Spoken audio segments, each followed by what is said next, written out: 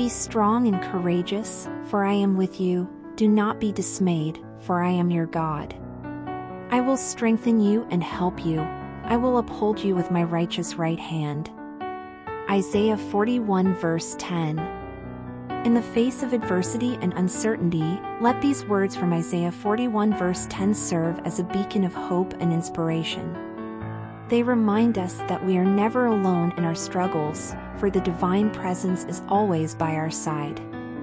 When the storms of life rage, when fear tries to consume us, we are called to be strong and courageous.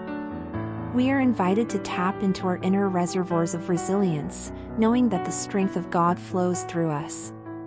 Our challenges may be great, but our Creator is greater still.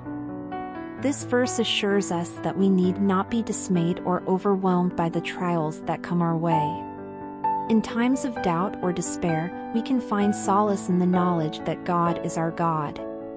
The very essence of the divine, with its boundless love and unwavering power, is intertwined with our being. As we journey through life, we may stumble and falter, but we need not fear because we are not alone.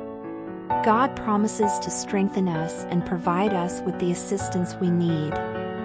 In moments of weakness, we can draw upon the wellspring of divine grace to uplift and sustain us. Moreover, this verse assures us that God will uphold us with his righteous right hand. We can trust in the righteousness and justice of the divine, knowing that we are protected and guided. We are cradled in the hands of the Almighty, shielded from harm and led along the path of righteousness. So, my friend, no matter what challenges you face, hold on to the powerful message of Isaiah 41 verse 10. Allow it to infuse you with strength, courage, and unwavering faith.